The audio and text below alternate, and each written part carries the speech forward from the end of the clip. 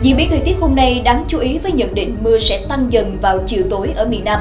Tuy nhiên cần đề phòng lốc xoáy, gió giật mạnh. Còn trên biển Tây Nam cần chú ý vòi rồng. Cũng theo nhận định nắng nóng ở miền Nam tiếp tục giảm cường độ. Tuy nhiên miền Đông nắng nóng vẫn xảy ra diện rộng, trời khá oi bức. Miền Tây nắng chỉ còn ở vài nơi ở mức nhiệt độ trên 35 độ C. Từ đêm nay mưa tăng dần, có nơi mưa vừa, mưa to. Trong khi đó, Trung tâm Dự báo Khí tượng Thủy văn Quốc gia cho biết Bắc Bộ và Bắc Trung Bộ ngày nắng. Từ đêm nay ở Bắc Bộ có mưa vừa, cục bộ mưa to đến rất to. Tại Bắc Trung Bộ, từ gần sáng mai có mưa vừa, cục bộ có mưa to đến rất to. Khu vực từ Quảng Bình đến Thừa Thiên Huế từ chiều tối mai cũng có mưa rào, cục bộ có mưa vừa mưa to. Về nhiệt độ, phía Tây Bắc Bộ nhiệt độ thấp nhất từ 20 đến 23 độ C, cao nhất từ 31 đến 34 độ C. Phía Đông Bắc Bộ nhiệt độ thấp nhất từ 20 đến 23 độ C, cao nhất từ 29 đến 32 độ C. Thanh Hóa, Thừa Thiên Huế nhiệt độ thấp nhất từ 21 đến 24 độ C, cao nhất từ 29 đến 32 độ C.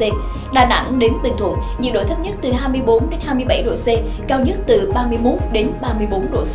Tây Nguyên nhiệt độ thấp nhất từ 20 đến 23 độ C, cao nhất từ 31 đến 34 độ C. Nam Bộ nhiệt độ thấp nhất từ 25 đến 28 độ C, cao nhất từ 32 đến 37 độ C.